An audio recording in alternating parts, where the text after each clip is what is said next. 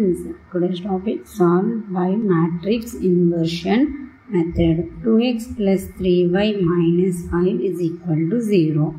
x minus 2y plus 1 is equal to 0. So let's see the solution. Given equations for 2x plus 3y minus 5 is equal to 0. x minus 2y plus 1 is equal to 0. So let's see the solution. Let's see next one. Here constants are 2, 3 and 1, 2 minus 2. So 2, 3, 1 minus 2 of xy terms is equal to 5 minus 1. ax is equal to b.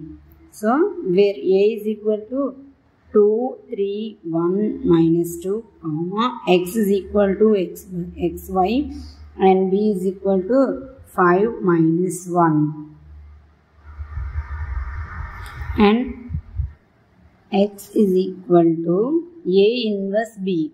a is 2, 3, 1 minus 2. Inverse means reverse. So first to find mod a. Mod a is equal to 2, 3, 1 minus 2. So here mod a is equal to 2 2 is 2 into minus 2 minus 4 minus 1 into 3 minus 3 is equal to minus 4 in minus 3 is minus 7 is not equal to 0. So A inverse exits. A inverse is exits. So adjacent A is equal to inverse means positive negative negative positive. So here 2 is inverse of minus 2. 3 inverse of minus 3, 1 inverse of minus 1, 2 inverse, inverse minus 2 inverse of 2. So A inverse is equal to 1 by mod A. Adjacent A is equal to 1 by minus 7 or into minus 2 minus 3 minus 1 2.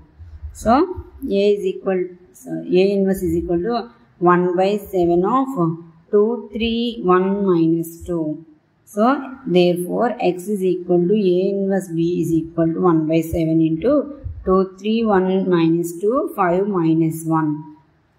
So 1 by 7, 2 5 is 10, 2 5 is 10 and 1 5 is 5 and 3 minus 1 is minus 1 plus minus 2 minus 1 is minus plus 2.